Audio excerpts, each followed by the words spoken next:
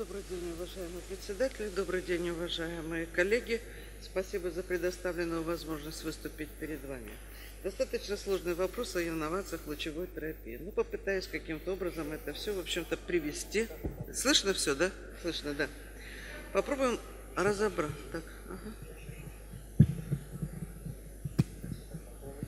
Угу. Все хорошо, да? Слышно? Так слышно, да?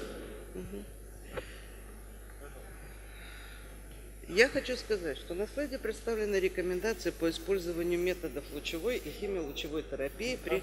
Ой, тут, наверное, поближе как-то. Я его в руки возьму. Так лучше, наверное, будет, да? Потому что мне удобнее вам. Представлены рекомендации различных наших представительств, которые дают возможность нам разобраться, где мы можем применять сочетанную лучевую терапию, где мы можем применять химиолучевую терапию, насколько это возможно и насколько это рациональное использование. Однако мне хочется сказать еще о других моментах. Первая А-стадия. Вероятно, в возрасте от 60 до 70 лет навряд ли какая-то женщина согласится проводить себе конизацию шейки матки. Она, скорее всего, пойдет на гистерэктомию. И стоит вопрос, а исключается ли лучевая терапия в этом случае? Нет, конечно, сочетанная лучевая терапия в этом случае тоже не исключается. То же самое касается и второй стадии. Вопрос стоит только об опыте радиологов, которые занимаются лучевой терапией, и о возможности подведения определенных доз, канцероцидных доз для гибели этой опухоли. Какие проблемы возникают в лучевой терапии при раке шейки матки? Ну, во-первых, это сочетание макроскопической опухоли. Это большие объемы поражения, которые включают матку, параметрии, влагалище и лимфатические системы. Очень важный момент – это изменение опухолевого процесса под влиянием ионизирующего воздействия, его регрессия, которую мы должны учитывать при планировании различных этапов лучевой терапии. Это влияние внутреннего движения первичной опухоли и органов, подверженных радиационному риску. И большое различие между допустимой дозой в органах, подверженных радиационному риску, и необходимой дозой вмешения – на сегодняшний день всем широко известны стандартные методики лучевой терапии, основанные на D-плане, на 2D-планировании или по атласам изодозных распределений, которые гарантируют нам полный охват опухоли мишени, так называемый терапевтический объем, однако приводят к достаточным дозовым нагрузкам в нормальных тканях и органах, от чего и говорят нам хирурги, что у вас много лучевых осложнений. Однако их не так много – но нам надо учитывать, что когда мы проводим облучение такими большими полями, то около 50% костного мозга у взрослых находится в нижней части поясничного отдела позвоночника и костях, и, соответственно, облучение этих мест имеет значение при химиолучевом лечении. Чем хороши, чем плохие эти методики? Если мы имеем большой опухолевый процесс, обычно они все неправильной формы – то в этих случаях мы можем недополучить опухоль. А если же мы имеем небольшой опухолевый процесс локальный, то в этом случае мы можем переоблучить соседние с маткой органы. Но я хочу сказать, что вот по стандартным методикам лучевой терапии накопленный десятилетний опыт, вы посмотрите, какую результативность дает даже при первой А-стадии. 98%. Это достаточно высокие проценты, хотя это еще было опубликовано в 90-м году Петерсом. Третья стадия – 40%, то есть не хуже, чем мы имеем это место при совместном, при, комбиниров... при хирургическом лечении. Однако мы всегда с вами встречаемся с той поздней токсичностью химиолучевой терапии. Все говорят большая. Да я бы не сказала, что очень большая, если вот анализировать э, представленных авторов, и мы видим, что действительно не очень высокая поздняя токсичность, связанная с ранними и поздними лучевыми повреждениями соседствующих органов, а также с гематологической токсичностью. Что мы видим нового? Какие инновации мы видим новые в лучевой терапии? Ну, во-первых, это внедрение новых диагностических методов МРТ, КТ, СКТ и ПЭТ-КТ. Те методы, которые позволяют нам визуализировать как пораженный орган, так и соседние с этим органом с, с пораженным органом соседние ткани и органы. И вы обратите внимание, что ПЭТ-КТ обладает очень высокой специфичностью и точностью, и в 18-47-44% случаев он существенно влияет на принятие решений о методе лечения. А вот какой метод визуализации необходим и что для нас более выгодно выбирать, то тут мы должны, в общем-то, смотреть, что вы хотите облучать. Если вы хотите сделать облучение первичного, достаточно облучения первичной опухоли, то вы должны знать, что МРТ в этом случае более важно для вас, так как лучше контурирует пораженный орган. Что касается компьютерной томографии, то она важна в тех случаях, когда вам нужно оценить, сопоставить расположение с пораженным органом именно мочевого пузыря, прямой кишки, кишечника и влагалища. Но до сих пор, в общем-то, нет четких данных и параметров, что нам лучше оккунтуривать. Об этом, в этом направлении еще идут клинические исследования.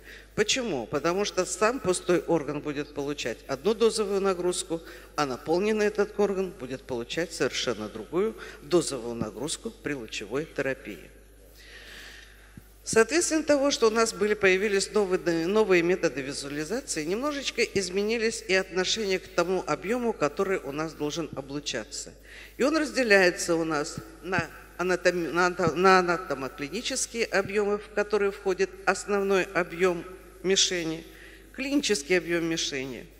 И вот эти объемы, они не будут зависеть от методики лучевой терапии, планирования лучевой терапии но зато они будут четко зависеть от метода получения изображения, от способа оконтурирования и, конечно же, от профессионализма радиационного онколога.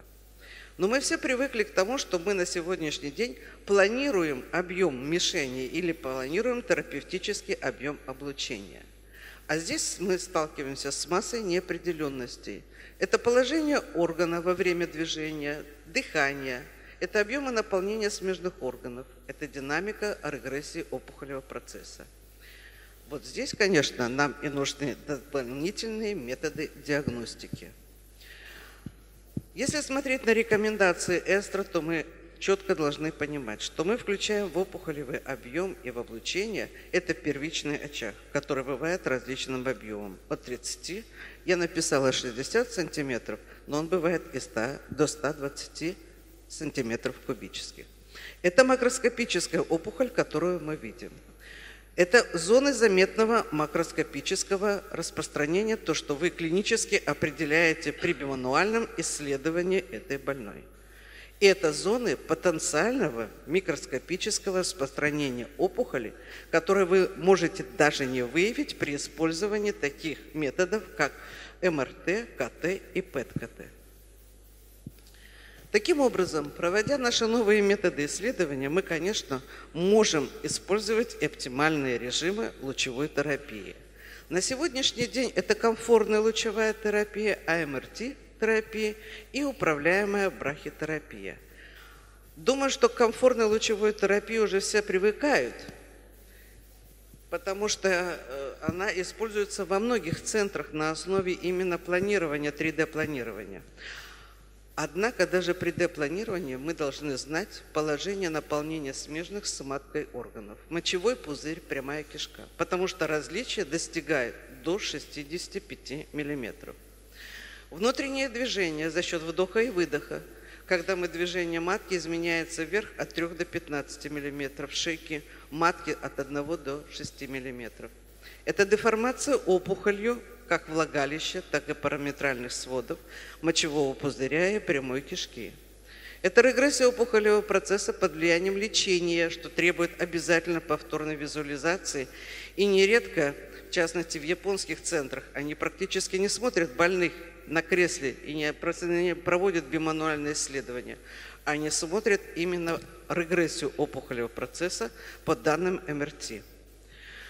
Это смещение начального объема первичной опухоли CTV между фракциями от 6 до, 4, до 40 миллиметров. А если у больной еще и наполненный мочевой пузырь, то систематические ошибки между укладками составляют до 30 миллиметров.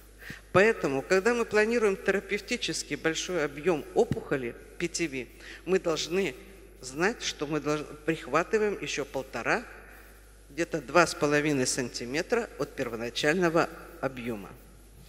Принципы проведения лучевой терапии, которые построены на новых технологиях радиационных, которые позволяют нам получать 3D и 4D изображения.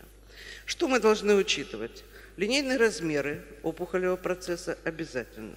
Глубина инвазии она обязательно у вас будет под данным МРТ и ПЭТ. Вовлечение окружающих органов и тканей, гистологическую структуру, состояние регионарных лимфатических узлов и радикальность предшествующей терапии.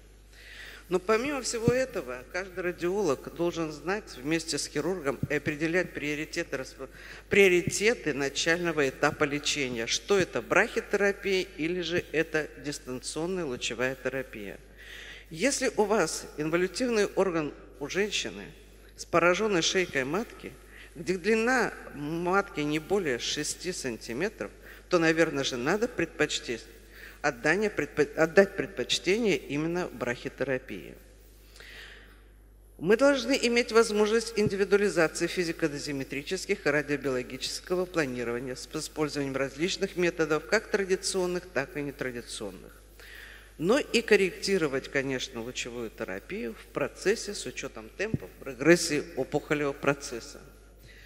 Мне хотелось бы просто представить на снимках, какие возможности имеются при комфортной лучевой терапии, когда вы проводите облучение с нескольких полей и пытаясь э, и создаете именно нужную дозу нагрузку на первичный очаг, снижая при этом нагрузку на соседние органы, тем самым уменьшая всякие токсические реакции.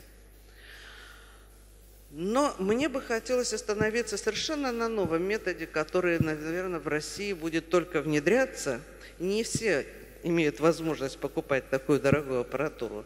Это лучевая терапия с интенсивной модуляцией пучка. Вот здесь действительно широкий простор для радиологов и возможность именно воздействовать на первичную опухоль, используя ту дозу, которая необходима, а доза это составляет до 90 грей.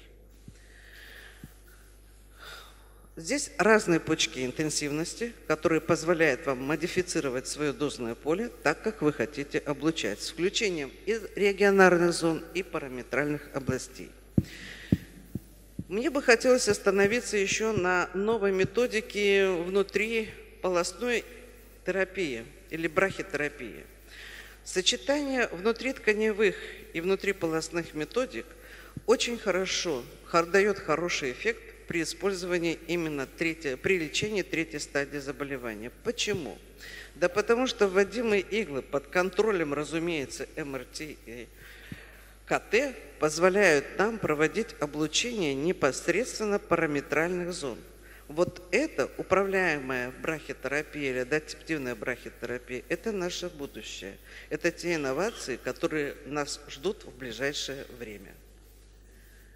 Но и медицина поистине самая благородная из всех искусств, которые существуют на нашей планете. И мне бы хотелось сказать, что совместными усилиями хирургов, радиологов и химиотерапевтов мы можем добиваться достаточно высоких результатов в лечении нашего заболевания, заболевания рака шейки матки, которое дискутируется практически на каждой нашей конференции. Спасибо большое, большое за внимание. Спасибо, Людмила Ивановна.